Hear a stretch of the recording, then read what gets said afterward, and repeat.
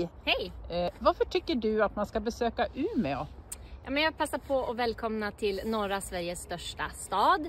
Eh, hit tycker jag du ska åka om du vill uppleva spännande smak och dryckesupplevelser. Vi har eh, barer som bara serverar svenskt i glaset. Vi har restauranger som odlar sina egna grönsaker och vi har några av Sveriges bästa kvinnliga sommelierer.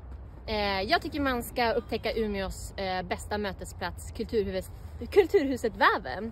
Eh, där hittar du vårt stadsbibliotek, restauranger, hantverksbageri, hotell och så Sveriges första kvinnohistoriska museum som just nu visar utställningen metoo. Samt träffa en massa människor som faktiskt vågar tycka till och utmana varandra.